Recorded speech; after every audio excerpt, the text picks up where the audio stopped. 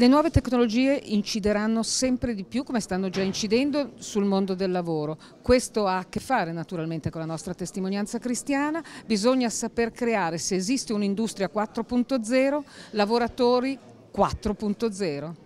Io credo che il tema vero del, del prossimo futuro e per alcuni aspetti anche dell'immediato presente sia proprio eh, l'accrescimento delle competenze anche sul piano digitale del mondo del lavoro.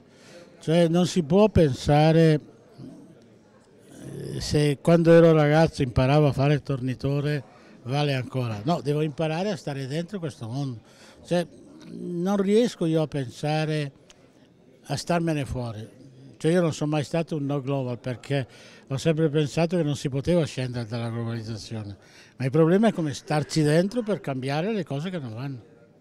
Così è la sfida del digitale, che è una sfida importante, che può anche portare dei risultati sul campo del lavoro, se il piano Calenda viene sviluppato in avanti da chiunque arriverà, può generare delle opportunità, però non può generare solo delle opportunità per l'impresa, per il profitto e per gli azionisti.